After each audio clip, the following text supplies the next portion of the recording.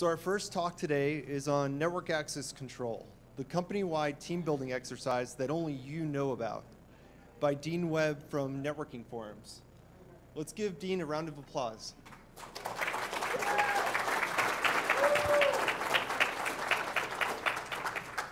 Thank you, thank you very much here. This is my uh, first time to present at a technical conference. I've done stand-up before, and I have to say this is a lot easier than stand-up because it's serious. So if you don't laugh, I'm good. All right.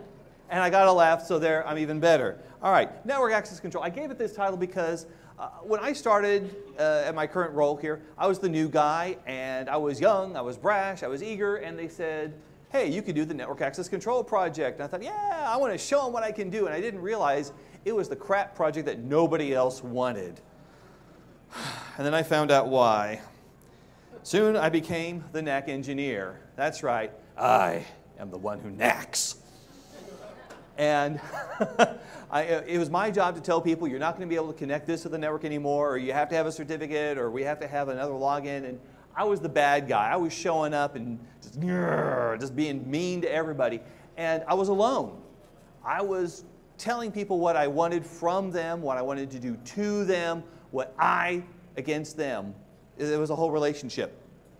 And the, uh, as I talked to other NAC engineers, I realized that the NAC project can sometimes go off the rails and do things to the network that you didn't want to have happen.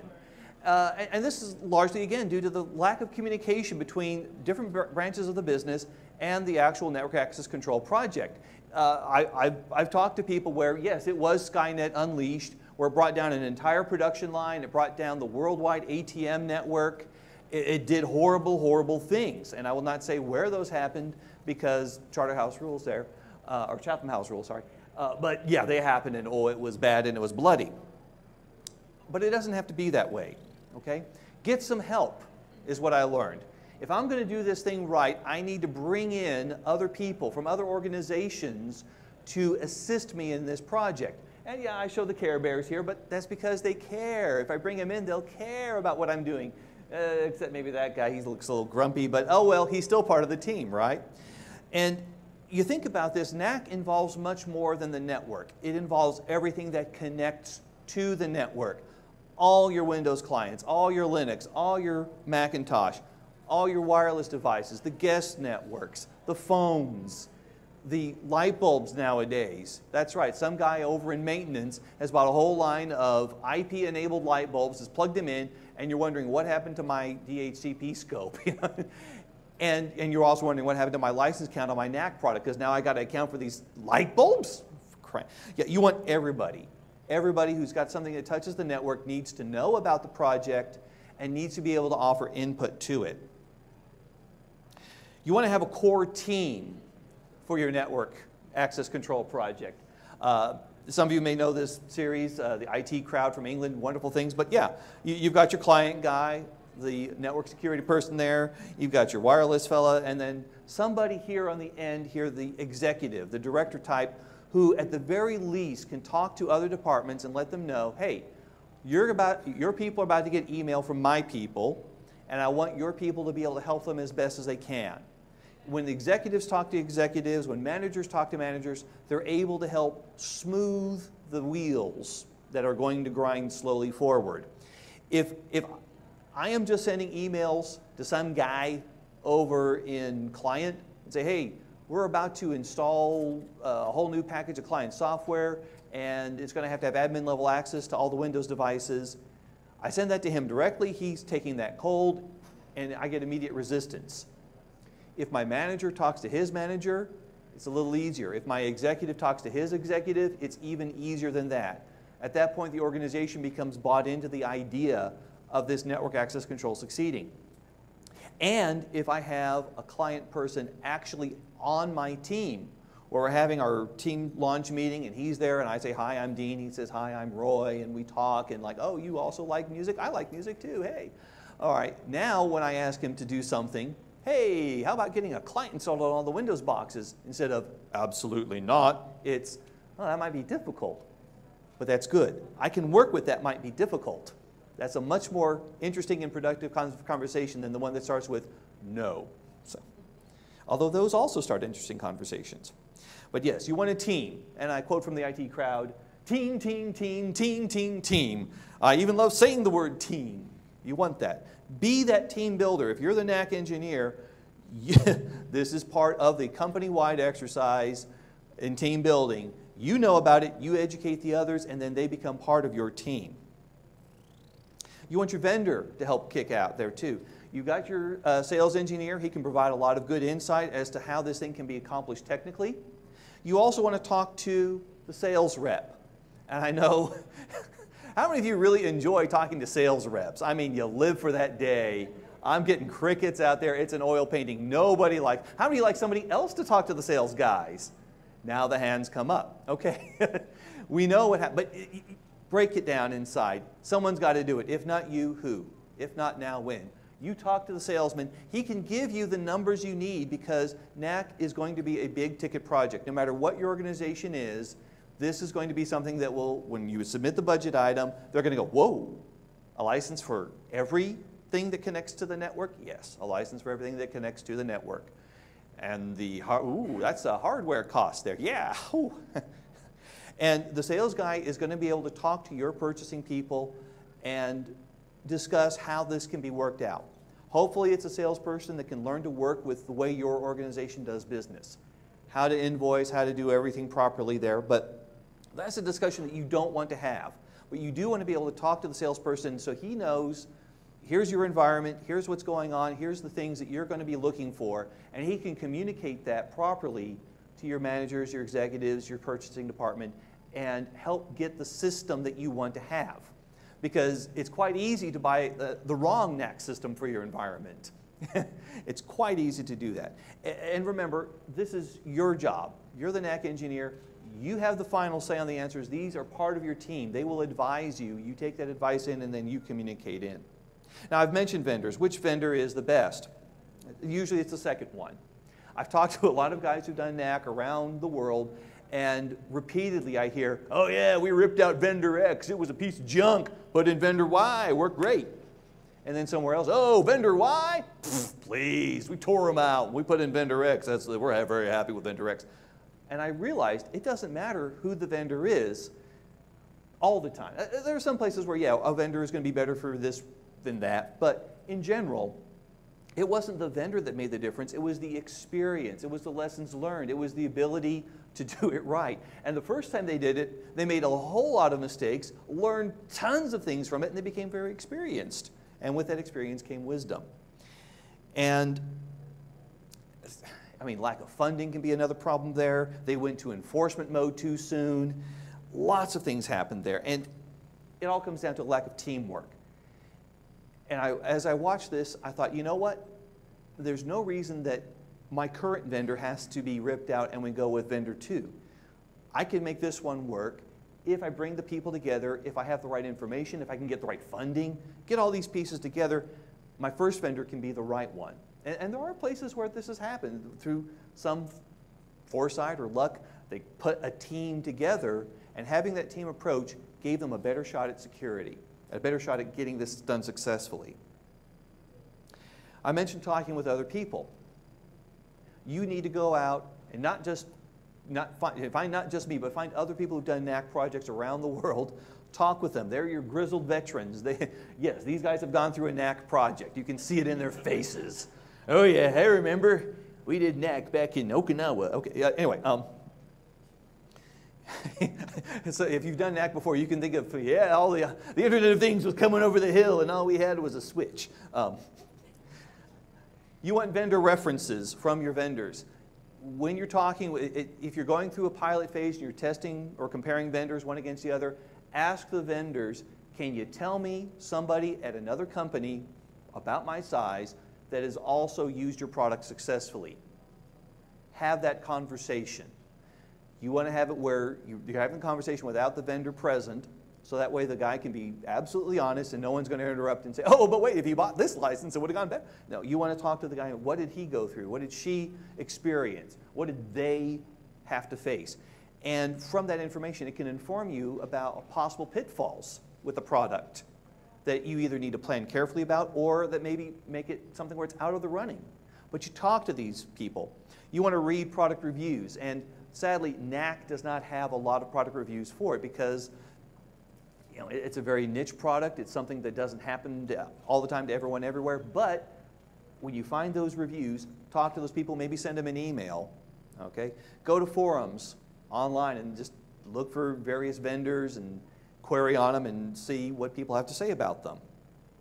But if you learn from the experiences of others and you make them part of your extended team, someone that you could email later on and say, hey, we're hitting this. What happened to you when you faced down all your iPhones that couldn't take a certificate of this? Or, oh, well, we did this. Oh, thank you.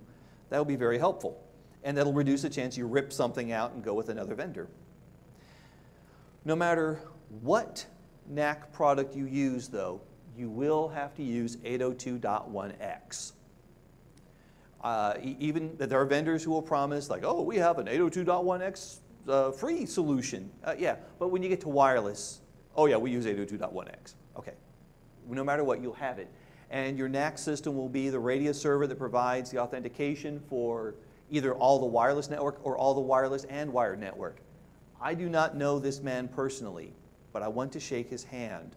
I do not have a vested financial interest in this book, but I wish I did because this has saved my life many times. You want the 802.1x port-based authentication book by Edwin Lyle Brown. I have gone through bitter experience, and this was my salvation. It is a full run through of the entire protocol from start to finish, bottom to top, tells you where, how it started, why people made decisions about the growth of 802.1x, what it has led to.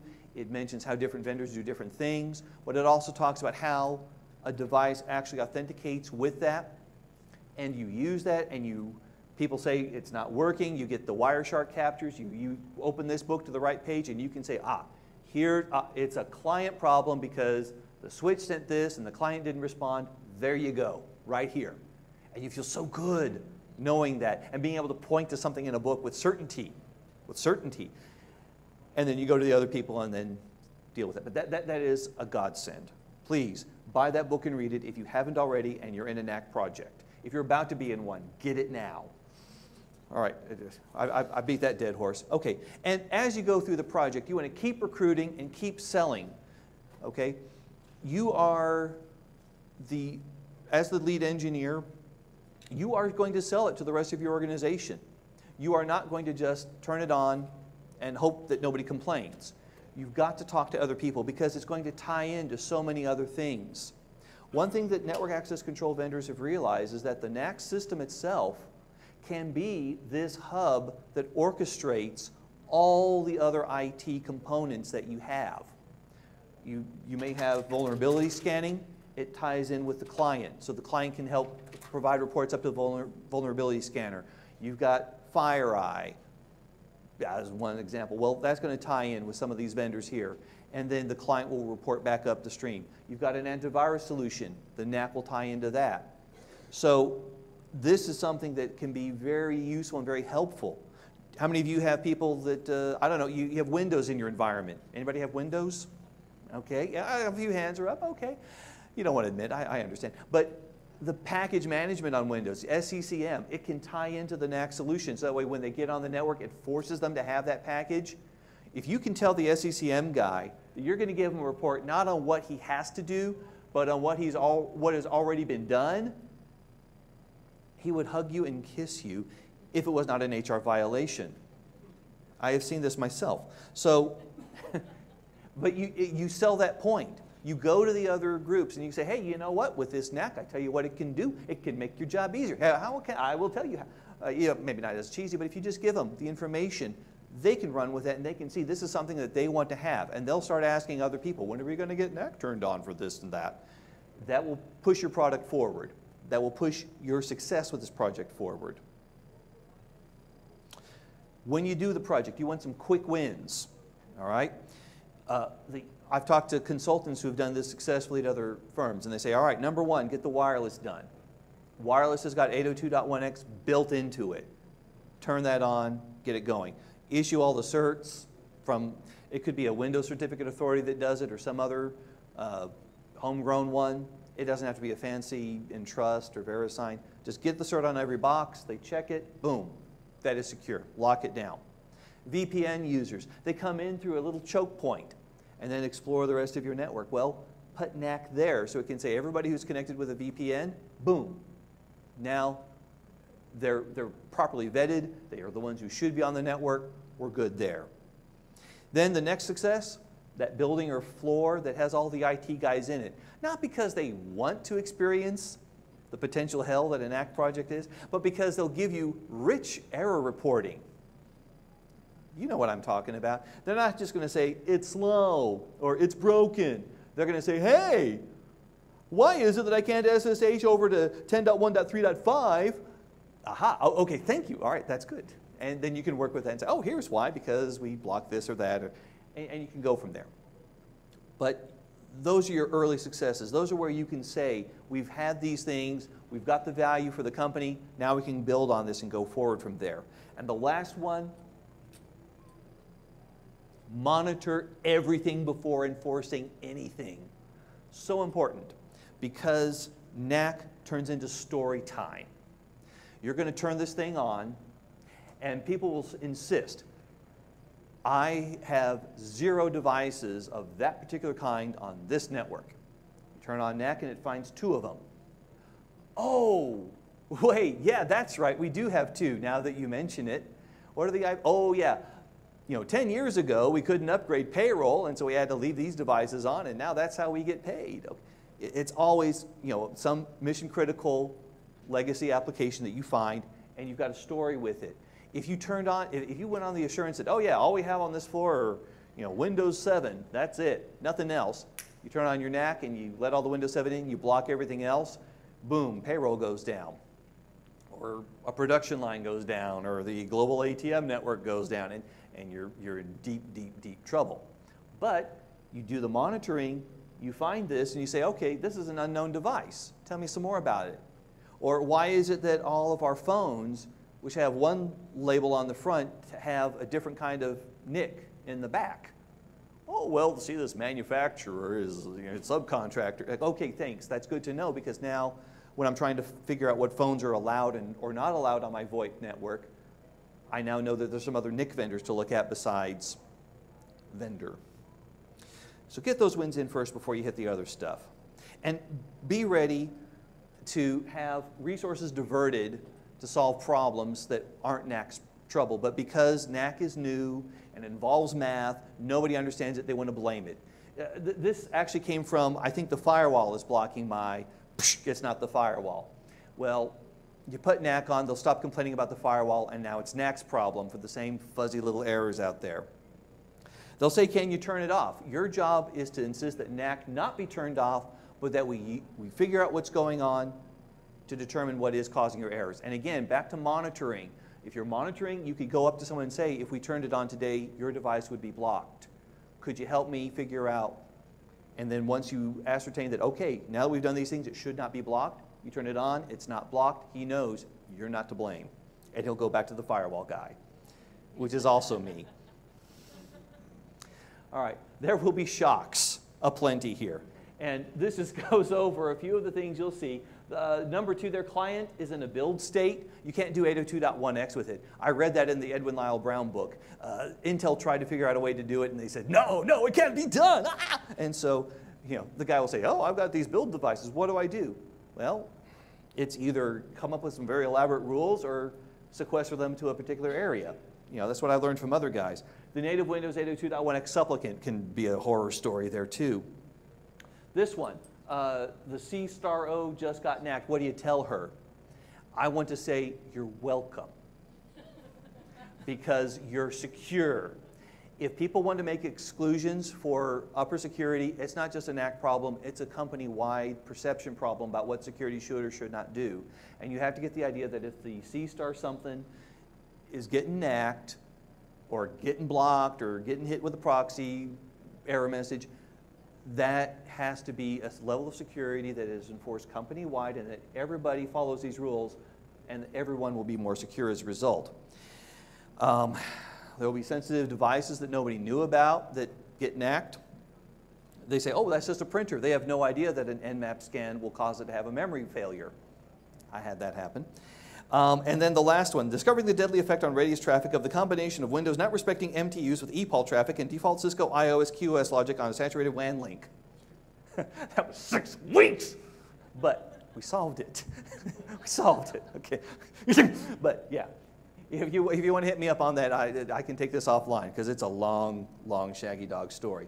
But there will be shocks. You will have plan B, which is plan A with an element of panic.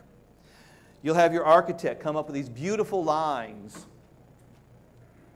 and you'll discover that those lines are actually ditches between a cornfield. I picked this road in particular because when I was going through Mexico and I wanted to go from Veracruz to Tres Zapotes to see some Olmec ruins there, Google Maps said, oh, this is the fastest route. This other route in gray would be two hours longer. This is the fastest route. This is what Google Maps told me would work. It does not. it does not. It took an extra hour over and above the time the other one would have had. This I bring up because your vendors, your architects will say, ah, yes, this is how it'll work. All your radius traffic will have high priority on this WAN link. Nothing bad will happen to it. Back to the problem I mentioned earlier, turns out it fragments and the fragments are not marked as radius, so they get dropped. And there's your ditch between cornfields. Um, also, they may say things like, hey, we could, you have a virtual solution? Great, we'll do it all virtual. And then you find out places where the virtual environment that you plan to install doesn't have enough uh, CPUs to handle your load. And yeah, what do you, I don't know what you do there, um, except buy more stuff. But, you know, this will happen. You've got to be flexible. The project plan should have flexibility, not only for troubleshooting other problems, but for also dealing with unusual circumstances that arise that don't go according to plan. If you build in that time and you build in those resources as little extra fluff areas, and I, have seen project management before, I know that they can do that. They can build in some cushion, do that. A, a NAC project should never be run lean. It should never be run on a tight string and a tight schedule because it's going to encompass so many things. It'll touch the entire company. It has to be one of these more company transformation sort of things. So get the team together early. Build out your informal team, the guys who aren't attached to the project but know a lot about it because you talk to them. Read that 802.1x book by Brown. Go for those early wins. Monitor everything before enforcing anything and be ready to troubleshoot just about anything at any time. And you've got a chance that you won't have to rip something out. As Mel Brooks said, hope for the best, prepare for the worst, life is a play, and we're unrehearsed. That's NAC.